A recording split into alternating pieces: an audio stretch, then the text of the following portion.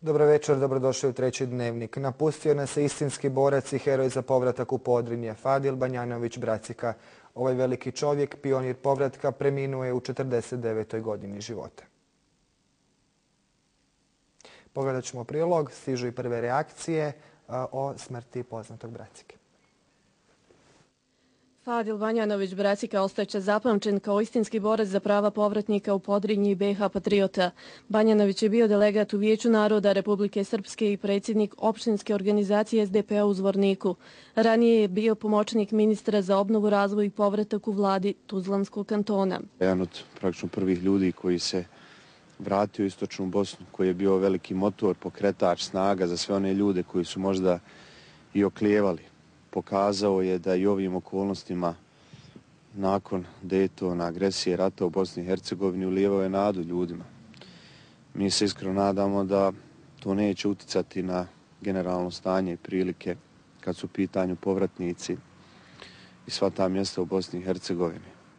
Zbog svog nesebičnog zalaganja za prava izbjeglih i raseljenih bošnjaka nazivali su ga pionirom povratka. On je predvodio upravo one kojima je bilo najteže, i radio je tako kako je mogao.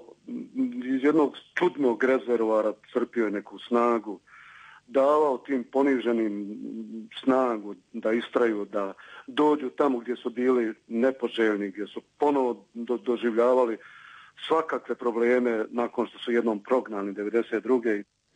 Prvi predsjednik Republike Bosne i Hercegovine Alija Izidbegović nagrađivao ga je više puta za uspješno realizovan povratak u Podrinje. Bracika je rođen u Kozluku opština Zvornik 4. jula 62. godine. Datum dženaze bit će naknadno saopšten. Sve građane Bosne i Hercegovine zatekla je vijest o odlasku heroja povratka u Podrinje. Donosimo dio intervjua koji je emitiran u političkom magazinu 60 minuta 23. ožujka 2004. godine proces povratka ljudi svojim kućama više nije upitan. To je jedan pokret koji niko ne može zaustaviti. Bez obzira što mi imamo pokret i opstanka e, građana, bez obzira što mi imamo pokret i zamjena imovine, ali povratak ljudi svojim kućama u oba entiteta, u sve smjerove, u svim narodima, mislim da je pobjedio.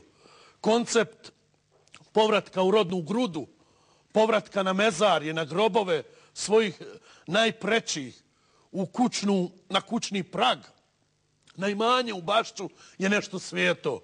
Nešto što miriše, nešto bez čeg se ne može živjeti. Veliki broj građana se vratio. Veliki broj ljudi živi u čitavoj Bosni i Hercegovini kod svojih kuća.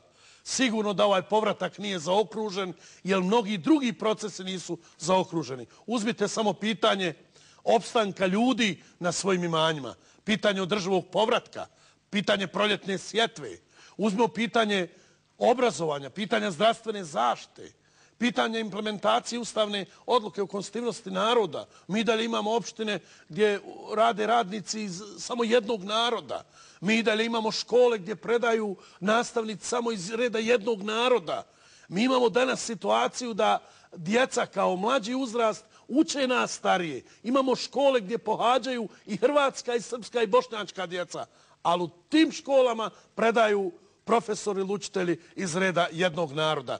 Mislim da je krajnje vrijeme da se prekine sa raznim manipulacijama, da se školstvo, zdravstvo, zapošljavanje, održiv povratak potencira kao nešto što je normalno,